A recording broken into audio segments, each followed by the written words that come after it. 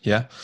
Um, okay. So, Ashley, um, thanks for coming on the podcast. Uh, really great to speak to you. I'd like to start um, by covering something which is not related to you necessarily, but related to tennis. The French Open is on right now. Not sure it's finished, has it? Um, and uh, players have been complaining about the weather and the conditions. Give me your thoughts on that. Yeah, no, it's interesting. So obviously, during these strange times, um, we've got um, a pandemic afoot, and um, yeah, there have been lots of complaints about the French Open being held in September as opposed to May. Um, players complaining about the colder conditions. Um, a few players complaining about the, the different tennis balls as well. And it does play a factor. It does play, um, you know, it's not just them whinging about them feeling cold on court, but actually the, the game of tennis is, is played quite differently in colder conditions. The balls don't bounce as high, they don't react quite so much to spin.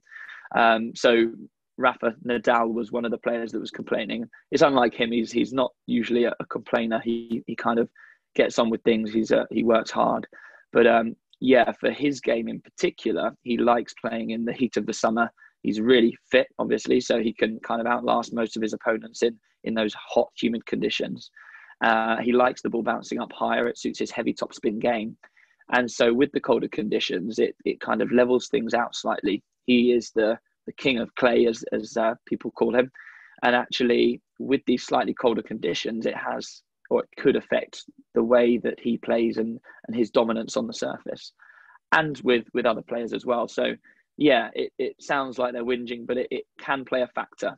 Um, so no, it's it's interesting. It'll be interesting to see how he deals with it and how the others deal with it as well. So it becomes more of a war of attrition in the cold, is it, or?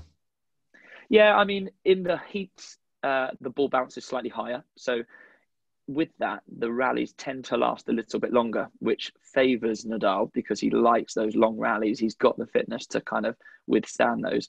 Whereas on a colder um, event like it is now, the ball won't be bouncing as high. So actually, the rallies become a bit shorter, and it will favour players with slightly bigger serves and and the more explosive games where they like to finish the point early. So in that way, it doesn't help Nadal. Yeah. Okay. Okay.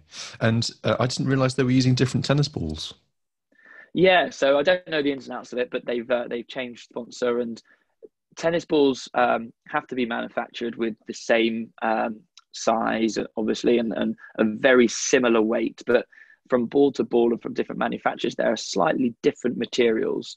Uh, it's a very slight change that maybe you and I wouldn't feel too much of a difference between. But when you're hitting the ball at hundreds of miles per hour with the amount of spin they're hitting, it does have more of an impact. So it's just different. And and you know, if they were to train with it for a few weeks beforehand, all of them would be great with those tennis balls. But it's just not what they're used to.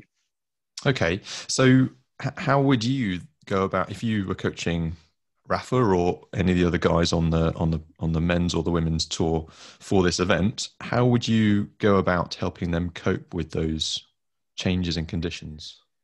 It's um, if they had time. So if, if the coach um, and the coaching team and the players knew a couple of weeks beforehand, then you would simply train in those conditions. Um, and most most of the time, they are fully aware of, of what tournaments coming up in the, in the weeks ahead. They'll kind of acclimatise themselves, so they'll go away to that country a few weeks beforehand to train in those conditions. Most players, if they've got, let's say, Wimbledon booked in the diary, they would come over to the UK for a couple of weeks beforehand to play a, a couple of the smaller level tournaments to get themselves prepared for the big Grand Slam, which is what they're what they're training for. Um, if you don't have the luxury of time, it's just a case of of making the player feel fully confident in their own game. It's it's such a uh, a psychological sport. You know, you're battling one on one or, or two on two if you're playing doubles. And if, if your player is, is feeling fully confident within themselves, then they're going to perform the best that they can. And it's kind of limiting the, the mental interference, minimizing the mental interference that happens on, on the match court. So there's an, a, an equation, I think it's called the Gallwey equation, which is your performance is equal to your potential minus any mental interference. Uh, and that's so true on the tennis court. You know, it doesn't matter how good you can play on your best day, if the day after something's going on in your head, that's subtracting from your your full potential, so you don't perform as well. So you know, it's just taking that mental interference away. So if you've got somebody like Nadal who's worried about the, the changing climate. He's worried about the, the bounce of the ball. Actually, that's a mental interference that's going to get in the way of his performance. So um, I'm sure, you know, Nadal, when he gets to the match court, he'll forget about all of those things. But it's just preparing your players to expect the worst and, and deal with it. You know, expect that the ball's going to bounce really differently to what you're used to. Expect that, that you're going to have the windiest conditions potentially, or the sun's going to be in your eyes, whatever it may be. As long as you know what to expect when you get onto the match court, nothing's going to shock you. So, uh, is there anything specific that you would do to prepare, other than just training in those conditions, like you've just explained? Is there any other kind of preparation that you would take one of your clients or athletes, how how you describe them through if they were going to go to that kind of event? Yeah, so um, a lot of hitting a lot of balls beforehand. So you know, if you find out a couple of days before, it's just hit getting the volume in. You know, hitting and hitting and hitting until you feel the timing and until you're used to the conditions and, and the equipment that you're using.